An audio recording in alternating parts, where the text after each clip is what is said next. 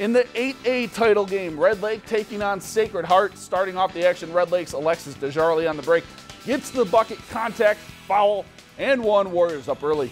Then off the pick and roll, it's Grace White finding teammate Megan Lacrosse. She sends it up and in. The Warriors just run away with this one in the second. Grace White, the high arcing three ball, nothing but net.